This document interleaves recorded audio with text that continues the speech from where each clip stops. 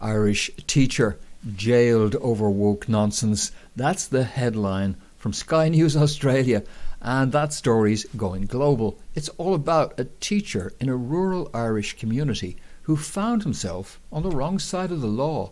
He refused to stay away from the school, which had suspended him summarily for raising continuing objections to using the right pronouns for a pupil who was transgender.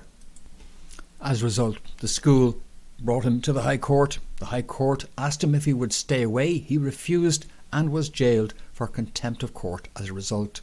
Clearly, Enoch Burke is using the courts to his advantage in order to highlight what he feels is the unjust treatment of his case by that school. Days ago, Enoch was brought back to the court, and again he refused to give the undertaking vowing that he would remain in Mountjoy Jail in Dublin until such time as his eventual demise.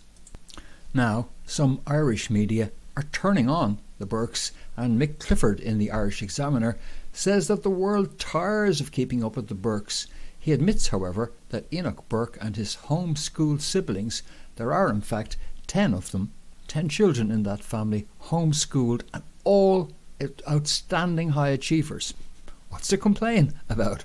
Well, it's an impressive education, he admits, but perhaps class time could have focused on other topics, and he's essentially demeaning all of their actions. Well, I felt I had to respond. I couldn't let him away with that, and so I did in an article entitled, What if Enoch Burke was a Muslim?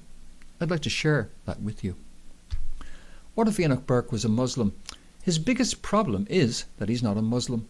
If he had refused to use gender pronouns because it conflicted with the Quran, we'd be falling over ourselves to accommodate him on the basis of religious tolerance.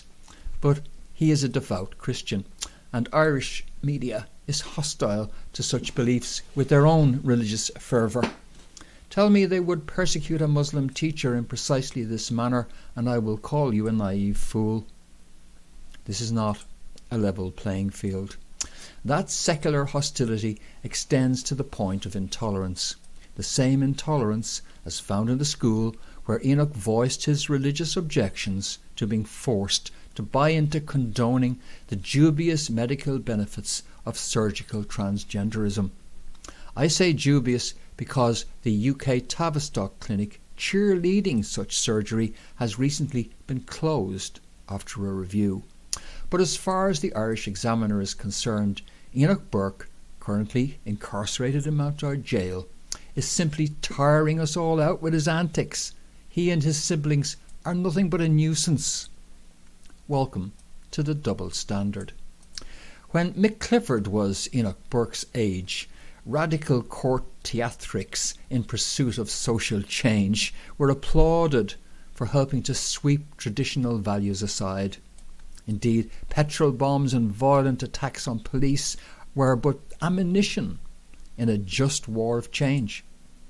By comparison, Enoch Burke has not been charged with a single act of violence, intimidation, or threat, but in leftist lore, merely being a stalwart Christian without violence and using the courts to seek redress puts you beyond the pale. In Clifford's hit piece, there's no acknowledgement that the Burke family are an activist family campaigning peacefully for what they see as necessary social changes. There is no redeeming value in such acts, as seen by secular eyes.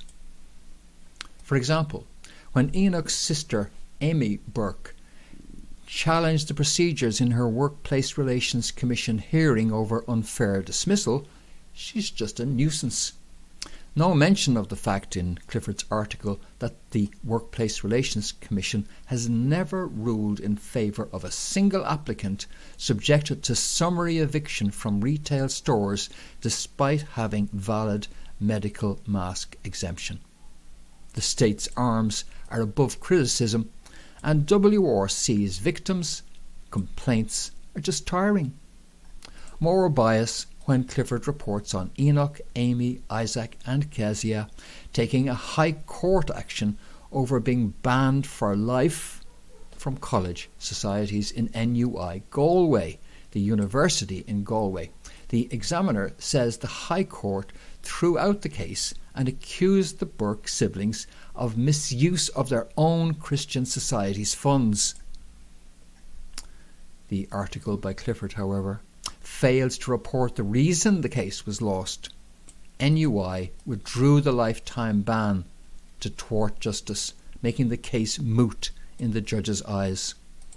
It also fails to report that the Burkes have challenged that misuse of funds allegation with a copy of a cheque proving that claim false.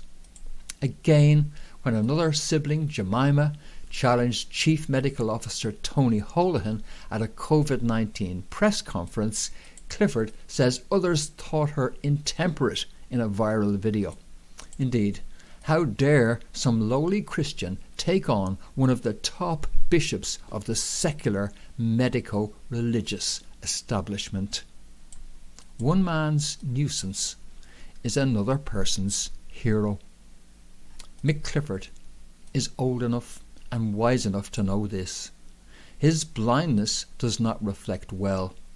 Mirrors do reflect well. Mick should take a look in one and see if he can spot another zealot. It's time to convert.